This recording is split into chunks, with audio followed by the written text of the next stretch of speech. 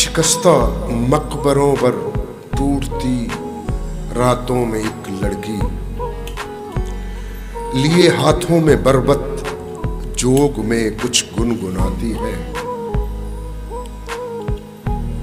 कहा करते हैं चरवाहे कि जब रुकते हैं गीत उसके तो एक ताज़ा लहद से चीख की आवाज़ आती